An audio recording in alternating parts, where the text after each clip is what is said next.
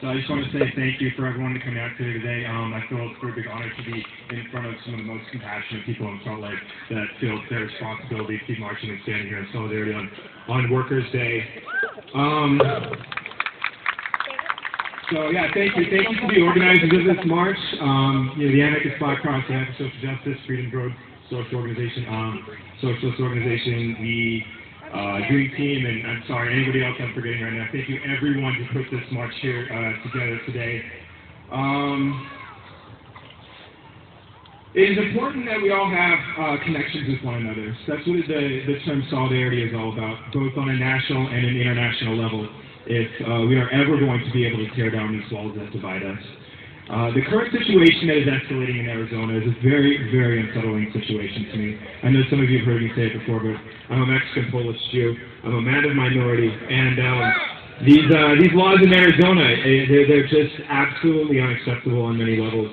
Arizona's SB 1070 seating acceptance, uh, seating acceptance by the federal government has a direct impact on Utah's HB 497, as well as other bills based on the work done through the American Legislative Exchange Council. Laws like these, uh, laws like these enable the 400,000 minimum national deportation quota not only to be met but vastly exceeded. My question is here: where where is the documentation for where these people are ended up? Where is the documentation for where all these individuals that we have exceeded by more than one million per year? What is happening to all these individuals?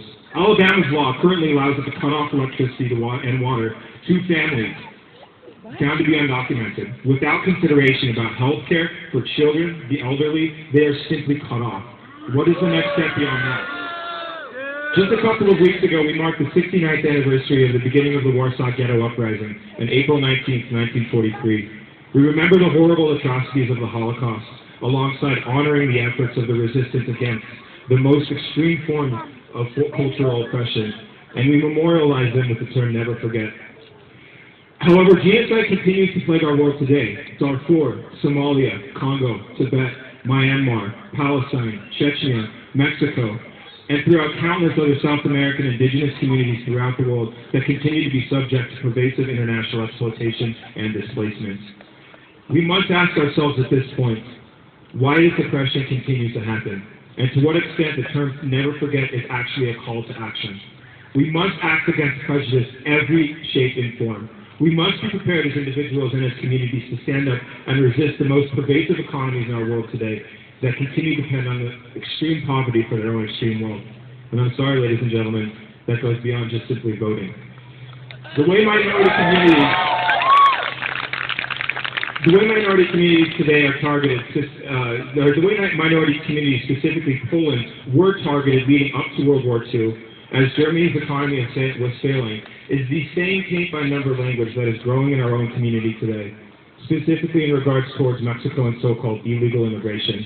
These communities have both been both unfairly, unfairly scapegoated and systematically accused of leeching money away from our failing economies in order to shift money from, away from the real culprits, capitalism and international exploitation. This shift of blame allows those in power to maintain some semblance of order and protection for the elite, while the impoverished suffer. To understand this concept is to me what it means to never forget, and I most definitely would interpret it and encourage it to be understood as a call to action. We must stand up for indigenous, immigrant, and minority communities, both locally and internationally, in solidarity with one another. We must stand up against cultural racism every step of the way. When we find that the Spanish language and books on Amer Mexican American history are being banned from institutions in southwestern states, we must actively push that education into our own communities. We must educate ourselves and each other about the rights of both undocumented and, and documented workers. When our neighbors are being targeted by the immigration enforcement in their own homes, schools, and places of work, we must, as individuals and as communities, be prepared to stand up and intervene. Get your whole neighborhood to camp out on their front lawn when immigration enforcement is on the way. Be prepared to step up in a nonviolent blockade if somebody you know is being targeted in the workplace. When a hate crime is committed, we must hold those individuals accountable, but also look at the systemic problems that enable these crimes to continue. If there are laws in place that protect those who carry out hate crimes, we must repeal them again and again and again. Ban the police! Ban the police! We must check those mechanisms by which these laws are being put in place. If those in office or fail to live up to their responsibilities, fail to watch the watchmen, or abuse their powers through organizations such as the American Legislative Exchange Council in order to promote cultural racism and profit from suffering, they must amend their ways and listen to the people or be removed from office. We must educate ourselves about how capitalism and certain international economies of, of scale contribute to conditions that oppress people throughout the world while exploiting workers and our environment. We must tear down these walls that divide us. The way that we were able to handle handle relationships with the most oppressed communities today is a direct sign of how we're going to be able to handle the greater problems of global sustainability coming into the future. We must stand together against these greater injustices.